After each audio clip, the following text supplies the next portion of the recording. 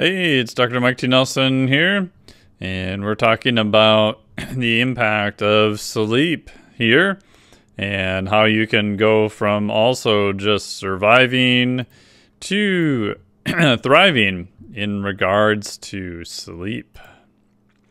So, big thank you also to Jess for setting this up, and also to my wife Jodie for helping out with everything. She will be showing up in this lecture towards the end also. So you don't have to listen to me yammer at you forever.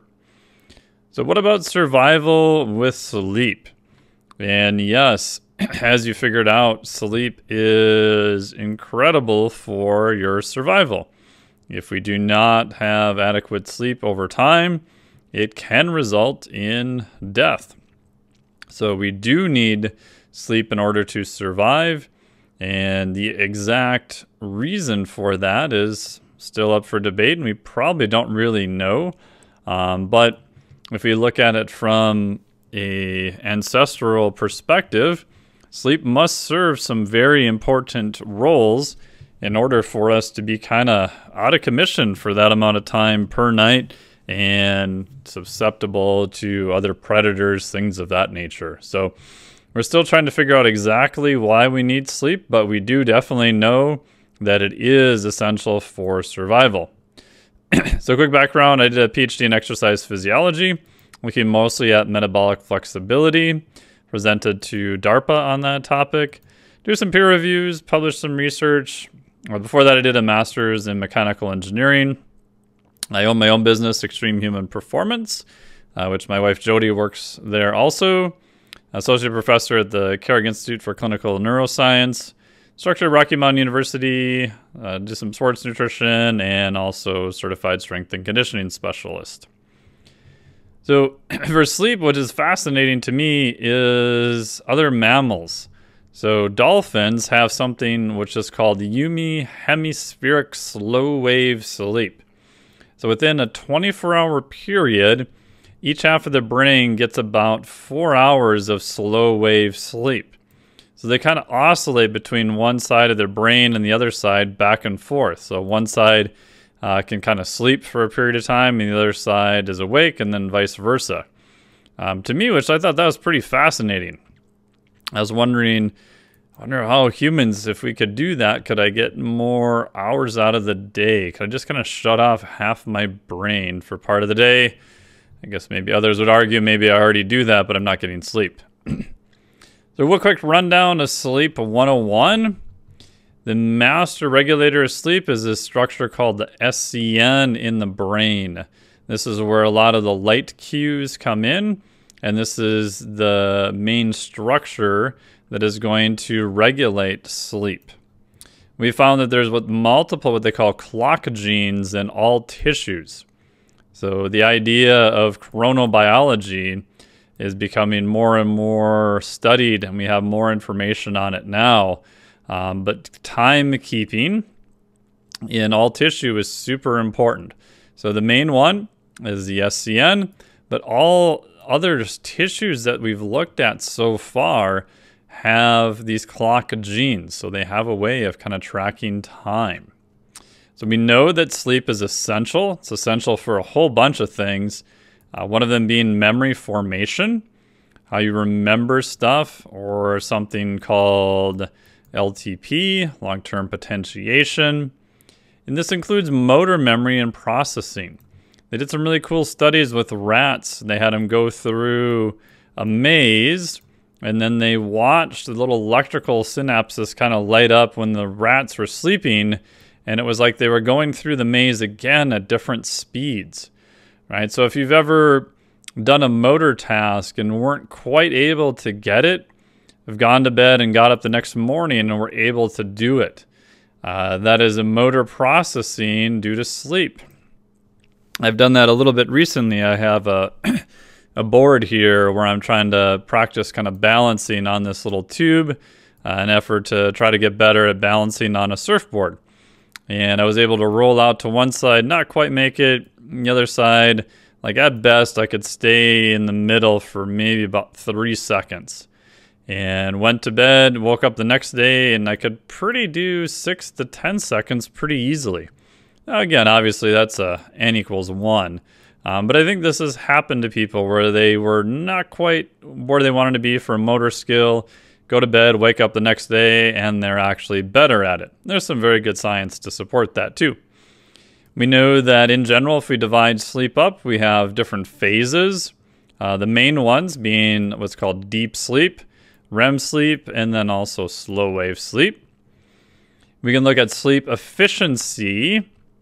Um, there's different devices that will track this now. Like I use an Oura device, which I like. If you're seeing 100% sleep efficiency, I can almost guarantee that you're in a very high state of sleep deprivation. So for quite a while, I've used even like older devices. I don't know if anyone remembers like the old Zeo device. You put this thing on your forehead and it measures uh, movement and EEG. I thought that if I could just compress my sleep, could I go from sleeping nine hours to six hours a night and still have the same beneficial effects? In short, not that I've seen that so far. Um, we'll talk about what are kind of mins you can get by with sleep. Um, but if I see someone's score and they're super high efficiency, odds are that they're very sleep deprived. Uh, another key is kind of latency. So when your head hits the pillow, if you're out within a couple minutes or even a few seconds, I can almost guarantee that you are probably very sleep deficient.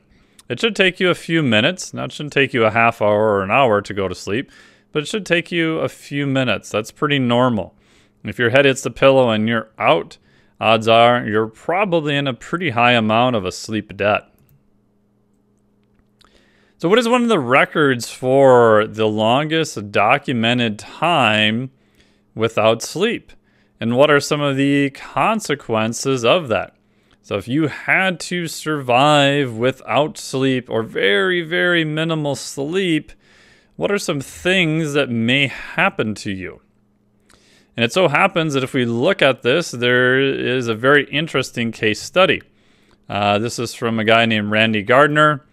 Uh, he has the record, scientifically documented record via Guinness, uh, longest a human has intentionally gone without sleep. And in this case, they were not using any stimulants of any kind.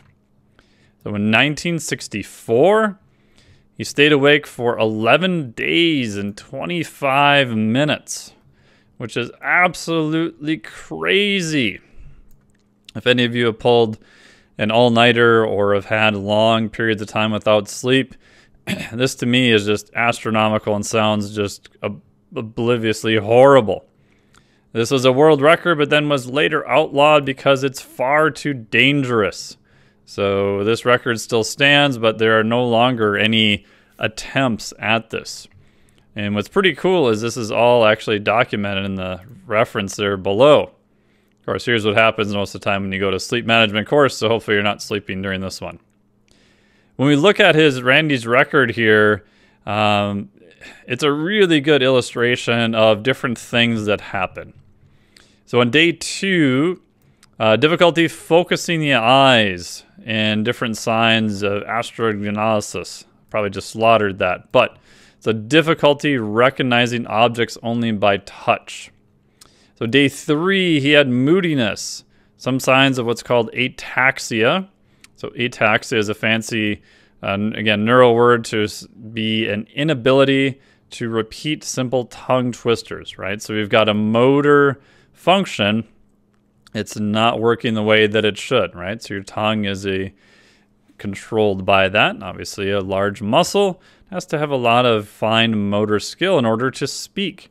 So already by day three, he's becoming very moody and seeing signs of just simple tongue twisters he's not able to do. So day four, irritability, an uncooperative attitude, starting to have memory lapses, difficulty concentrating. He actually has his very first hallucination. Uh, he hallucinated that a street sign was a person, followed by a delusional episode in which he imagined he was a famous black football player. Right, so this is on day four of no sleep. So he's already having massive hallucinations four days into it. Day five, more hallucinations.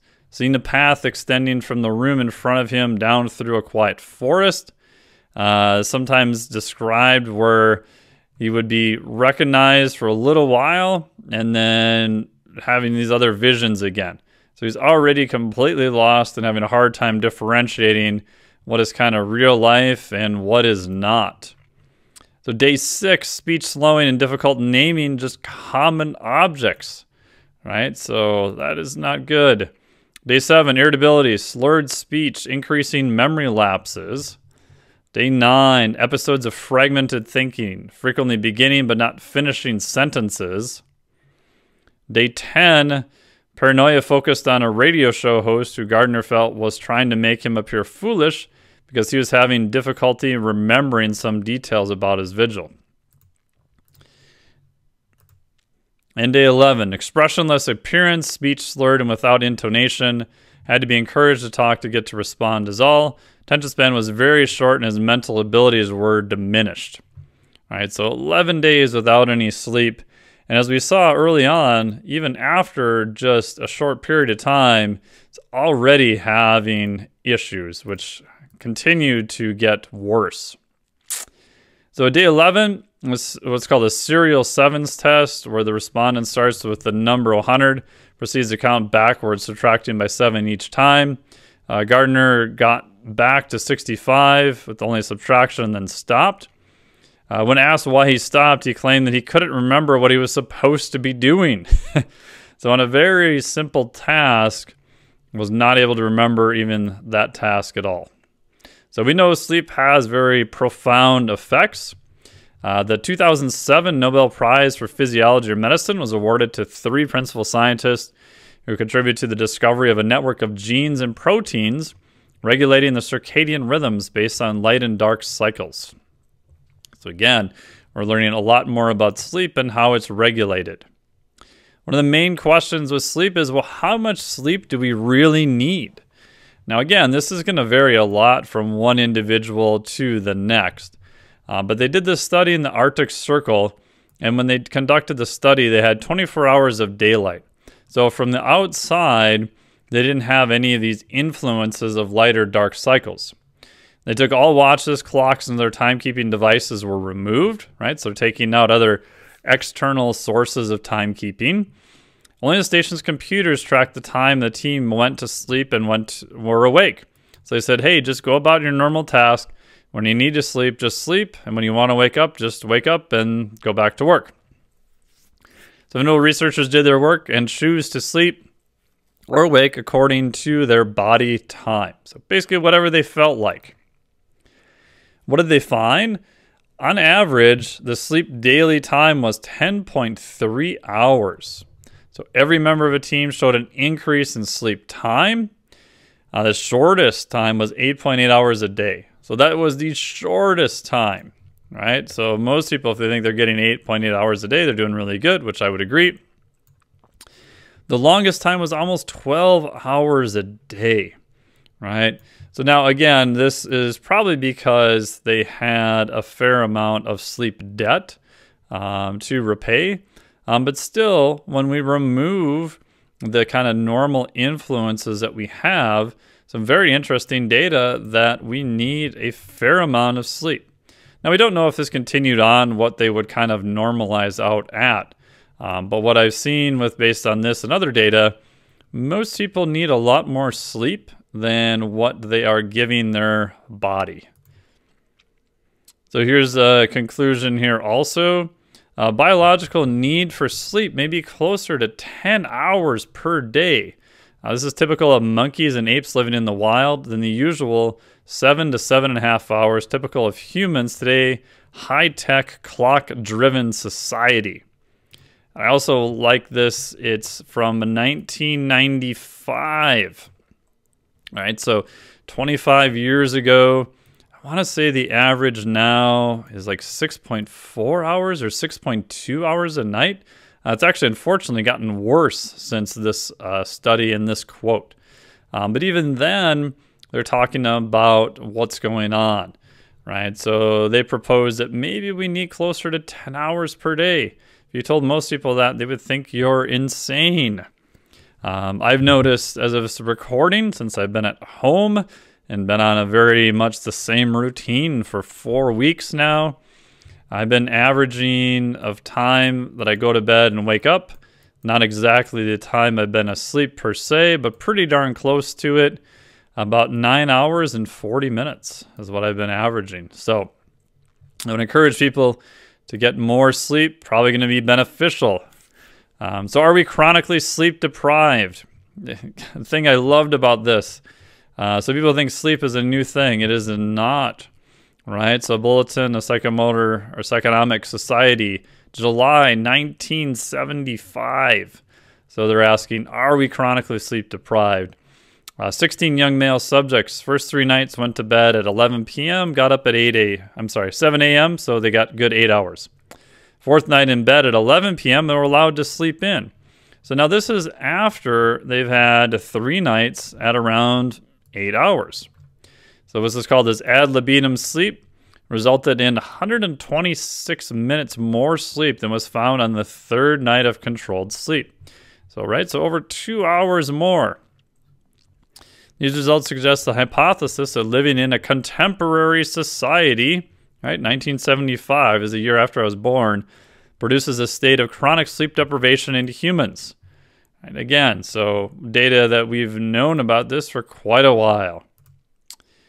So can't wake up late if you never go to sleep. Haha. So my one of my experiments with this is several years ago. I was a volunteer person on what was called the RAAM Race. So, RAAM Race is the race across America. we were on Team Strongheart. We started off in California, in San Diego, and we had a team of four people, so four riders. We had more support staff. We only had about 10 support staff, which is really not that many. So we had four riders, and someone had to be riding at any one point in time. So we started out in California. We rode, or somebody rode their bike all the way across the U.S. to Atlantic City, New Jersey. So this is going to take, if it goes well, about seven days. And this is 24 7 because this is a race. You are timed against other people. So we were on a four person team. So someone of those riders was riding 24 7, ideally, from California all the way across the US on a set route. Everybody had to take the same route to New Jersey. So what we did is we had two teams of two. We would have a van follow one person riding. So they would go pretty fast for maybe 30 to 40 minutes. And then they would switch out with another person who would still ride pretty fast, 30 to 40 minutes and they would switch out and go back and forth for around four to six hour shifts. They would then ideally try to go to sleep. next two people would come out, they would alternate back and forth, and this would go on and on. Now, as you can imagine, because this is 24 7, there is somebody riding at all hours of the day, and they're going to be awake and asleep, awake and asleep. And you're also, we had only one RV which was very bumpy. I only got to sleep in the back bed once, but you would hit a bump and you'd fly about two feet up in the air. So I can't say it was the most uh, restful thing at all. So a test of endurance, 3,000 miles in under seven days. And it was a crazy thing. So most of the people here are averaging 20 miles per hour average. Now this includes any stops because the clock is always running. I think we averaged around 19.6 miles per hour. Maybe it was a little bit over that. Uh, we ended up doing pretty good. We ended up getting uh, third place. So after two professional teams, we were not a professional team. Uh, on average, about three hours of sleep per day. And I was a volunteer person for this. So when we first started, I had the first shift, and then we had a schedule snafu. So I also got the second shift. So I ended up being awake for 24 hours in a row to start off. And then when I was supposed to go to sleep, we had one of the riders got really dehydrated. It's basically pissing maple syrup. And we had to take him an hour and 40 minutes off course in the car to go to the ER to get checked in to see what was going on. Because I started to get really worried when we had him drink more fluid and then he would run outside literally within a few minutes to whiz again. I'm like, oh crap, that is not good. You are not retaining any fluid or electrolytes at all. So he went to the hospital. I took him up there. He got a whole bunch of fluids by IV put back in him. I uh, was told not to race for a while, which you know, he didn't really listen to. But uh, the first time that I got any sleep was around 38 hours into this. I passed out in the lounge area and took a Kleenex box and used that as a pillow. And then fast forward through the next few days, I literally got less than 10 hours of sleep the entire time. And that was pretty bad. It got to be so bad by the end of the third day, we would drop and sometimes follow the riders. So we would have to drop them off and remember how far we were going to go and then exchange out the next set of riders. And I could not remember a time or a mileage stamp on the clock if my life depended upon me. So luckily there was always a co-pilot, so to speak, with us. So they would have to write down what the actual mileage was I completely lost my entire short-term memory after about the third day. And this is what happened at the very end of the race. So we finished, we got third, which was great. And we got into Atlantic City. I told the other guy, I'm like, hey man, like I I cannot drive. I feel like I am incredibly intoxicated. I know we just finished. We literally have like two miles left to go. He's like, oh, don't worry, man. It's fine. I'll I'll drive. It'll just are totally good. I'm like, are you sure? It's like, oh yeah, yeah, I'm I'm totally fine. I'm like, okay. Um, all of a sudden, we're pulling into the hotel ramp, and we hear this like screeching noise of like sheet metal being torn off. We're like, what the hell is that? And then it, we're pretty slow, so it took us a while. Like, oh shit, we left the bikes on the roof. So, yeah, that was not good at all. So, yeah. Uh, sleep effects. Not very fun. After that, I actually, when we are cleaning everything up, I passed out on the cement floor for about three hours. Uh, people had a very hard time waking me up. Uh, that night, everyone went out and partied for a while. I stayed in the room. I went to bed. I could not stay awake for my life of me. Uh, literally, they had a party in the room, like around me, and I didn't hear anything and didn't remember anything at all. I was completely out. Now, of course, people a lot of times will substitute sleep and they will use coffee in its place. Yeah, and that's a topic for a, another time. Uh, but when you're trying to get more sleep, keep in mind of different amounts of stimulants and coffee and other things that you use because that will temporarily change uh, adenosine levels is primarily how caffeine works um, and that does work acutely um, but everything has a cost associated with it that's a whole nother separate lecture. All right, so what do we do about all this stuff? Those to survive, in my opinion, sleep whenever you can. So get as much sleep as you can, and at some point, if you're really low on sleep, just sleep whenever you can, even if you're only getting a few minutes here or there. Now, again, we don't have a ton of research on what happens when people are incredibly sleep deprived. Should you sleep a little bit? Should you not? This is kind of my biased opinion. I would say take sleep whenever you can get it. Uh, most people I've talked to, especially in special forces, uh, when they are doing a lot of things where sleep is very scarce, they get very good at getting short amounts of sleep anywhere they can find it. So I would agree with that. Uh, be prepared, right? Uh, have a sleep mask, earplugs, pillow, whatever you need to feel comfortable. Use them and get sleep. I actually also like the practice of sleeping in different locations with different sound and even different temperatures.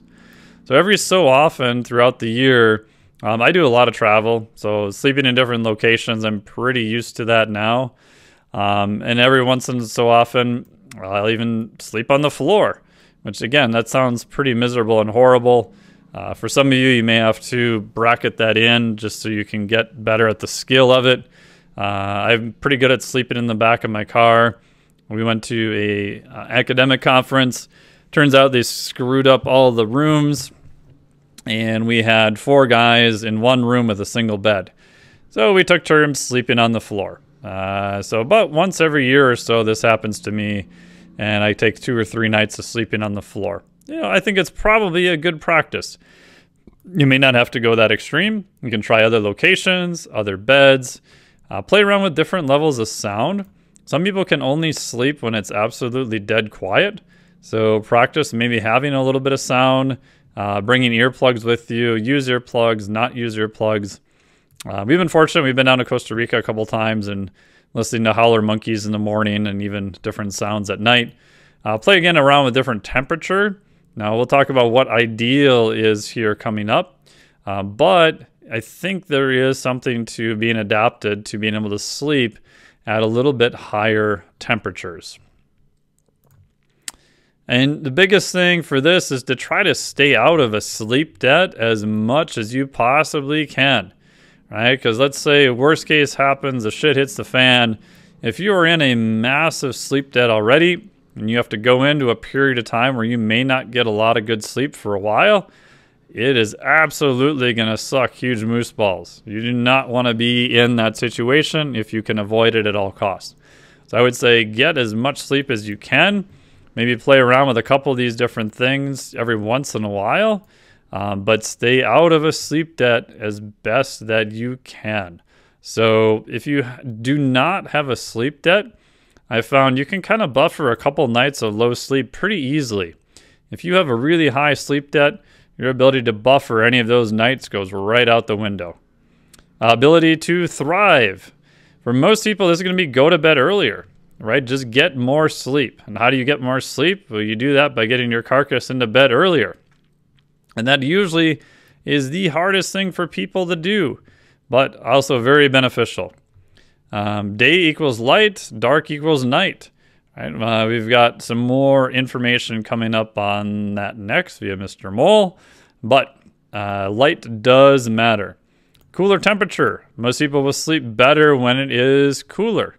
Uh, now I get a little bit neurotic about all this stuff, so I even have a little device called an Ooler that runs cool water underneath my mattress pad at night, so I can have it even be colder.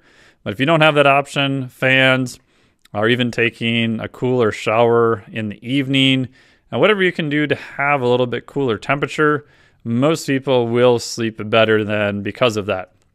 And like I said, sleep lots, right? Everyone's trying to figure out what is the magic number for them. I tell people just keep going to bed earlier and earlier and earlier until you routinely wake up in the morning before your alarm. If you're doing that, then you're probably got a pretty good idea of how much sleep you need. Like I said, in my case, right now I'm running about nine hours and 40 minutes. So I do pretty good. Now, I tend to need more sleep than most clients and other people I consult with. But if you need nine hours and 40 minutes, that's what you need. If you need eight hours and 20 minutes, that's what you need, right? So try to work backwards from there. And my sleep quality is pretty good. It's I would say it's not uh, architecture wise, it's not amazing. Um, but even if your architecture, your cycling of deep and REM and light is not the best, if you get more sleep, you're just going to be able to accumulate more times in each of those phases so it will help offset some of that. Now, these things will also help increase your quality of sleep. It kind of goes without saying that if you're using caffeine and other stimulants, cutting down on those, especially later in the day, is going to be beneficial. Some people are very, very sensitive to this. And if you are, you probably know who you are and you don't really need a genetic test to figure that out. So, um, cutting back on those will also make a big difference. So we have some more additional references here if you want to go down that path and read a lot more. And coming up next, we've got an appearance from my wife, Jodie Nelson here, who's going to talk to you about Mr. Mole Goes to Sleep. Hey there. So Mike queued me up to share with you Mr. Mole Goes to Sleep. So, what I'm going to share with you is how this story came about, why it came about, and then a little excerpt with the number one sleep tip. So, we'll just read it to you. Mr. Mole started as a funny saying between Mike and me. me. He liked to turn off all the lights as it got closer to bedtime. Me, I can't see very well in the dark, so I always turn the lights on in each room as the sun starts to go down. One night, as Mike left his desk from a long session of research rabbit holing, he came around the corner, squinting into my brightly lit room, and I said, Hey there, Mr. Mole, how's it going? That little exchange started a funny conversation every time I would find him huddled in the dark researching at his desk as I came in to switch the lights on. After one of these nights, one of us brought up an idea to write a children's book about Mr. Mole going to bed. And then the idea got bigger. What if we write a children's book about healthy sleep habits that adults will read to their children? The action steps would be simple enough for a child, yet probably things that many adults have not incorporated into their sleep and bedtime ritual. This is how Mr. Mole was born, and he's evolved so much since then. It's going to be a wonderful book for everyone. So, let me read to you a little excerpt from Mr. Mole.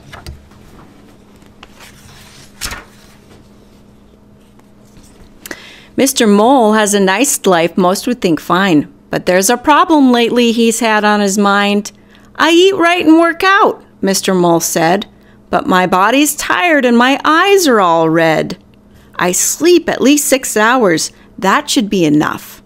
So Mr. Mole decided to just be more tough. There's Mr. Mole, having a hard time. So, he can't even read to his kids. He's that tired. Now I'm going to read to you our number one, number one sleep tip, and that would be to make sure to get up and go for a walk each day. I'm finding the correct Sourcing sunlight. This is in phase three. So there are three phases of how to get better sleep because you don't want to do 15 things all at once. So take it in phases. In phase three, uh, number two, it says from advanced sleep steps, it says sourcing sunlight. As mentioned above, blue light affects the wake portion of your brain, so we can take the advantage of this during the day. Take a 20 minute walk in the morning to get sunlight and do not use sunglasses. The blue light portion from the sun will hit a special photoreceptors in the eye to help rewire your circadian rhythms. Blue light tells your brain to be awake. Depending on how much your sleep pattern was off and for how long, it may take a few days to a few weeks to normalize. Taking a 20 minute walk will help you feel more energized during the day and more sleepy at night. So there you have it. A little teaser from Mr. Mole Goes to Sleep, and also our number one sleep tip, which is actually get up in the morning and go for a walk. So your brain says, hmm, it's time to be awake. And then when it's time to be tired, it'll be better and you'll be able to go to bed and get more sleep. Where to find this book? And you can tell I base this on my husband because it says, the little tagline there says, because I dug up the research already. And you can find the book at www.mrmolebook.com. Enjoy, everyone, get better sleep, and stay healthy.